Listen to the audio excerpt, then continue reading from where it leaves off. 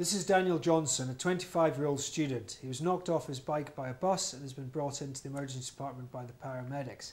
At scene, they report he was complaining of pain in his pelvis, had a pulse of 120 and a blood pressure of 80 over 50. Okay, based on those initial observations, uh, I'd quite like to call the trauma team, please. Okay, the trauma team's been called and they'll be on their way shortly. Okay, do I have any help uh, in assessing this patient? Yes, you have an emergency department nurse who's able to assist. Hello, uh, so I've got my protective gear on of gloves, gown and glasses. Uh, is it safe to approach the patient? There's no obvious uh, threats. Okay, fine. Hi, uh, Mr Johnson. Hello. I'm Dr Baxton, uh, one of the A&E doctors. Uh, how are you feeling? I'm in quite a lot of pain. Okay, uh, could you open your mouth for me, please? Yeah. Okay. Nothing abnormal to see in the mouth. Okay, fine. Just gonna look, feel, and listen. You can see the chest wall moving. It's uh, quite fast. Um, there's no extra sounds, and you can feel breath on your cheek. Okay. Uh, nurse, could you put on 15 litres high flow oxygen through a non-rebreather mask, please?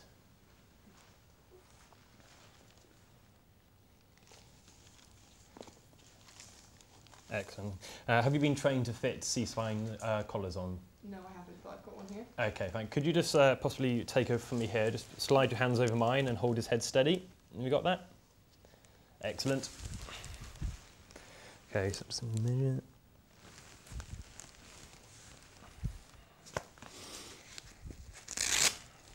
Okay, just going to put a collar on you, Mr. Johnson.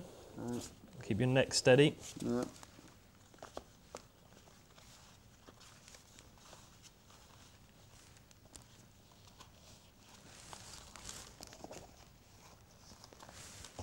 Okay, if you just keep that steady for me.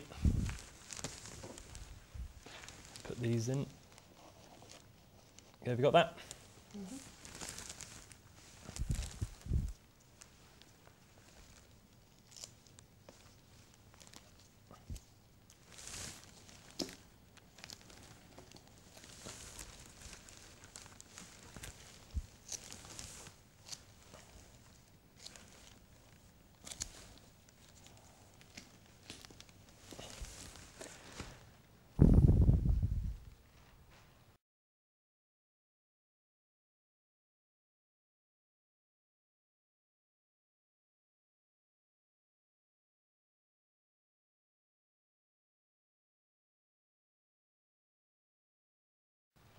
Okay, I'm now going to move on to breathing. So could you uh, attach an O2 SATS monitor for me? First, I'm just going to have a look in the chest. Sorry, in the neck. Uh, looking at the neck, there's no obvious abnormalities. Okay, just going to have a palpation now. On palpation, the, the trachea would appear to be central, and there's no, uh, no obvious abnormalities. Okay, just going to rest my hands on the chest.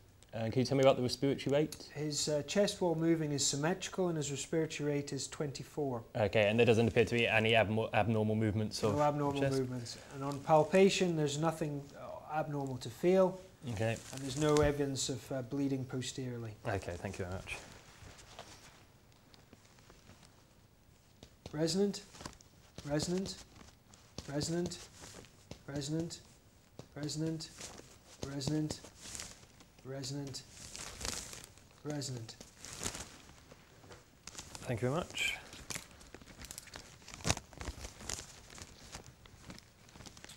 Normal breath sounds. Normal. Normal. Normal. Normal. Normal. Normal. Normal. Normal heart sounds. Okay. And uh, what are the O2 SATs like? The O2 SAT's 94%. Okay, at this stage, I'd like to order a chest x-ray and a pelvic x-ray, please. Okay, they're on their way.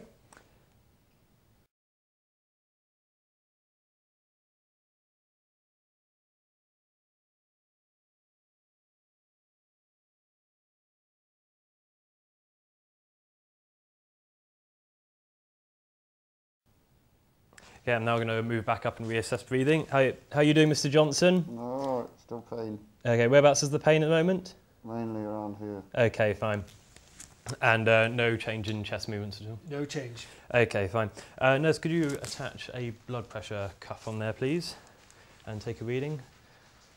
You can feel a pulse at uh, the wrist. Okay, so He looks he looks pale and uh, peripherally shut down. okay, I'm going to move up to the. Okay, you can feel a pulse there, and and um, it feels fast. And your pulse oximetry reading and your palpation would suggest this pulse is 130. okay, are we taking the blood pressure yet? Uh, the blood pressure's come back as 80 over 50. Okay, at this uh, moment in time, we're worried that he's in shock. So let's get uh, wide bore cannula into each arm, please.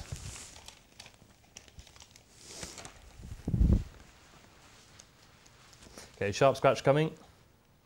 Okay, you managed to get both cannula in first Excellent.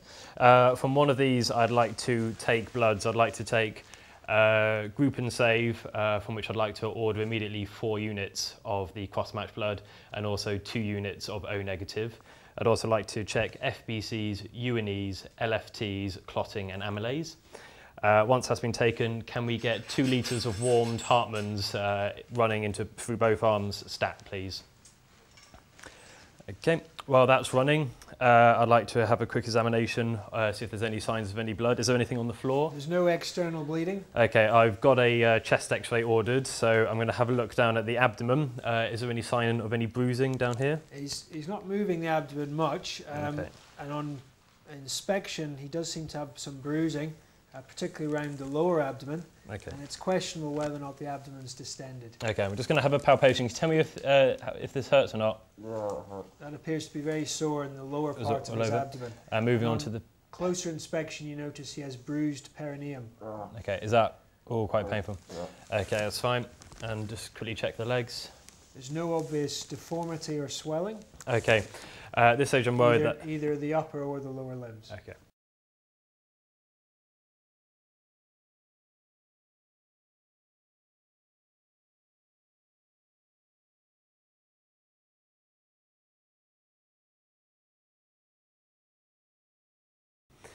Uh, at this stage, I'm concerned that there is some internal hemorrhaging uh, in either the abdomen or pelvis, or possibly both. So I'd like to apply a uh, pelvic uh, harness.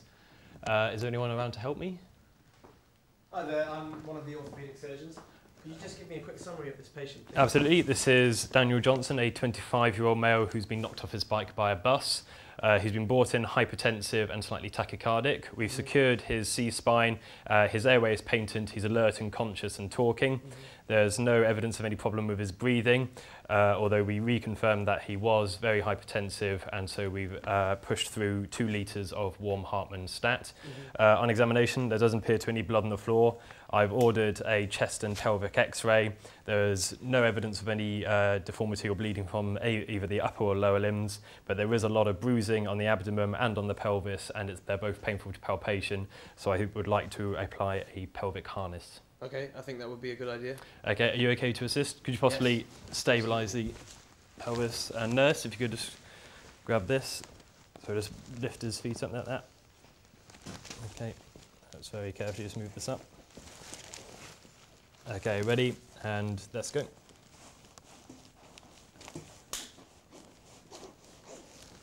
And where are you um, positioning that pelvic? Uh, Uh, positioning it with it running uh, centred over the uh, greater trochanters. Okay, are you again that side, nurse? Thank you.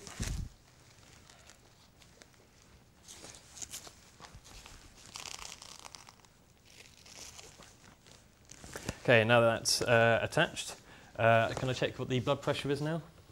Uh, the blood pressure is now 90 over 50, and his pulse has come down to 120. Okay. Okay, I'm going to go and chase up the imaging um, and call the rest of the trauma team. Would you mind continuing with the resuscitation and assess disability and exposure? Absolutely. Okay, thank you. Okay, so I'm going to move back up. Hi, how are you doing, Mr. Johnson? Uh, still in pain. Still in pain. Okay. No problems breathing though. No, See everything okay? Um, uh, no change in uh, the O2 saturation. Uh, remain un- unchanged at uh, 94%. Okay, and the blood pressure is responding to the Hartmann's, so we'll continue with that, and I move on to disability. Uh, could you possibly just wiggle your fingers and toes for me, please, Mr. Johnson? That's good. So the patient is alert and obeying commands. Thank you very much. And I'm just going to shine a light in your eyes now. Okay, the pupils are equal and reactive. Okay, that's great. Thanks very much.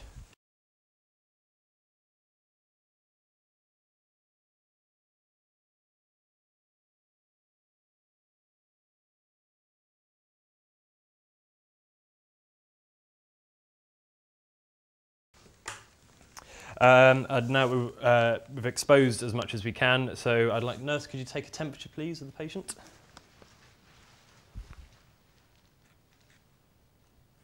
The temperature is 36. Okay, uh, can we get a Bair Hugger down? And in the meantime, we'll just cover him with a blanket while we're waiting for that. Okay, thank you very much. That'll be great.